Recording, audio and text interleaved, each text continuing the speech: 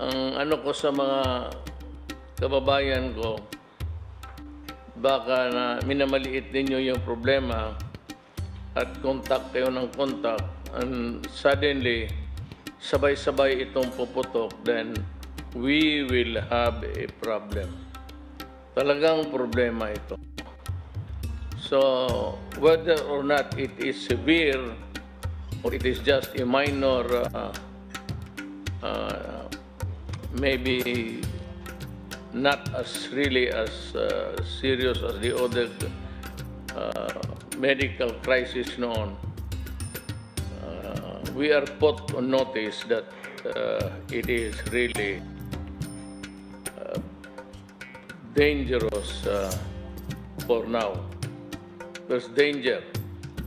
So, kayo, if you want to test the waters and end up uh, getting sick, uh, well, kasi ang sinasabi namin, huwag kayong uh, magdumabas muna ng bahay.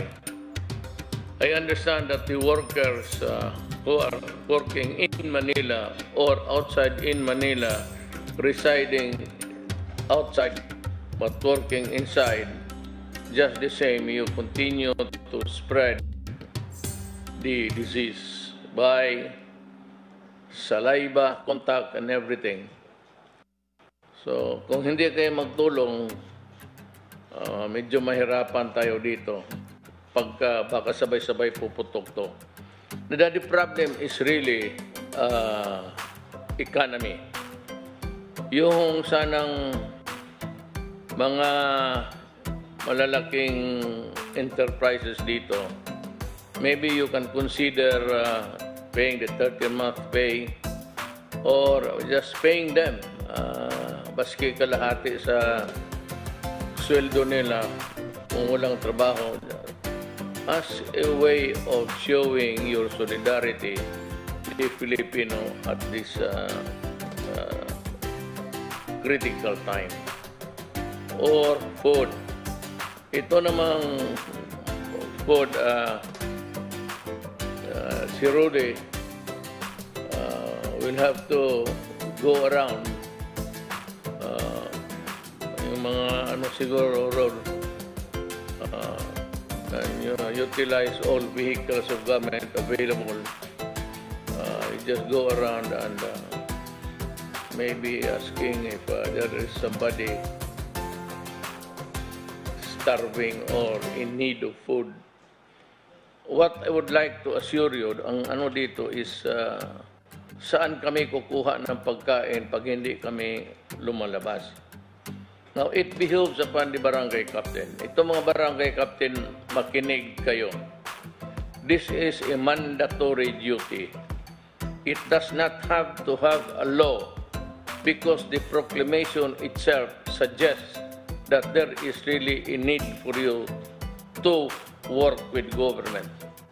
And if you violate this, then you can be liable for the reduction of duty or other uh, regulatory measures uh, which you are supposed to do and do not do it and then you violate it.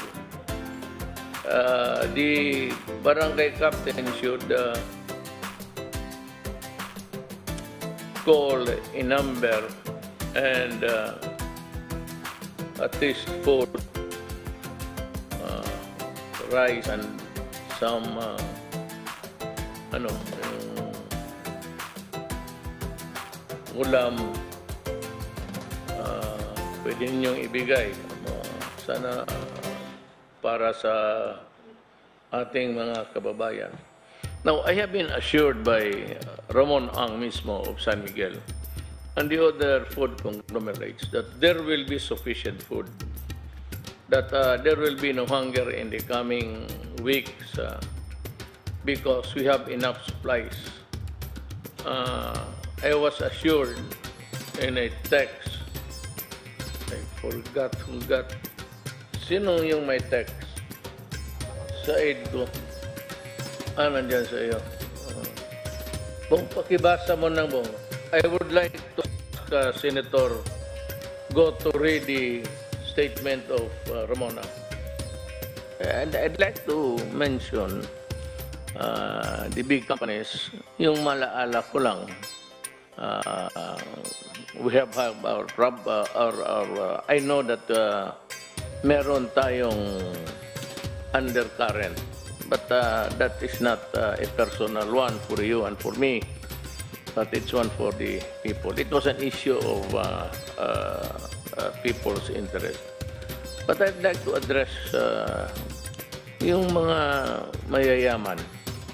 Like for example, uh, well, ikaw, uh, Lina, and uh, uh, the Ayalas, and sila Quezon sa uh, itong mga big companies, Robinsons, you might uh, be able really to alleviate the situation by just understanding also the plight of the workers who are not working now and uh, uh, lawfully uh, are not uh, really in a, in, in, in, in a position to to demand.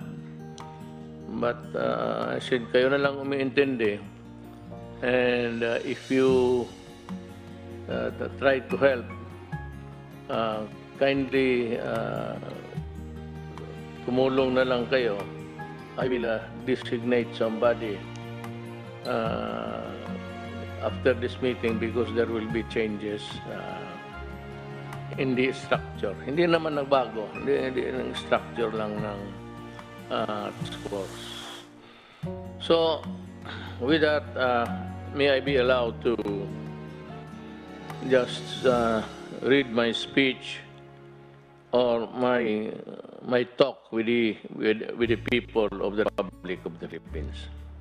My dear countrymen, as of 9 p.m. today, the confirmed cases of COVID-19 in the Philippines has risen to 140 with a death toll of two.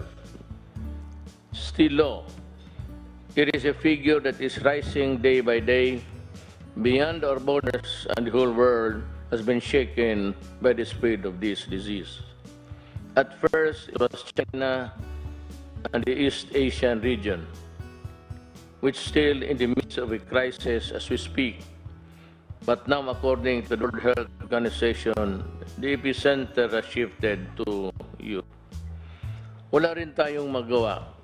Alam mo, we want to do business, we want to make money, we want to move, but there is no uh, interaction now, and there is no trade to speak of, and there are no flights going out, in, and for you to do business.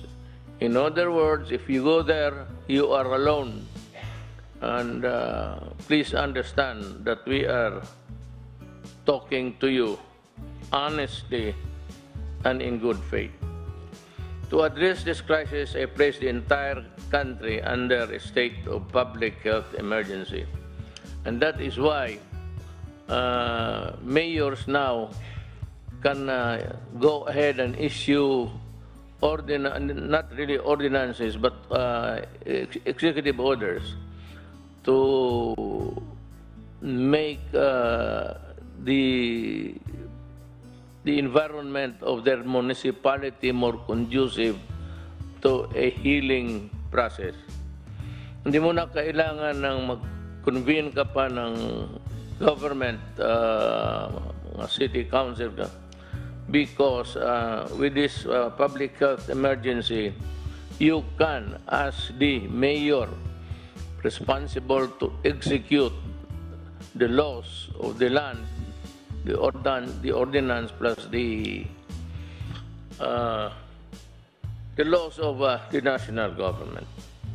So, hindi mo na kailangan dito na mag ano pa, maghingi pa kayo, maghintay pa kayo ng because I've uh, uh, I've read somewhere or maybe I've heard it in over the ra- uh, TV radio na yung ibang munisipyo naghihintay pa. With this uh, emergency, hindi na po kailangan just go ahead and the mayor will do it for us para walang uh, tawag let me get to para wala masyadong rokos, walang debate. Isa lang, one line lang ngayon. Mayor lang muna. And he can come up with any measure to protect public health, public interest, public order, public safety, and uh, whatever is needed to make life more uh, livable in your place.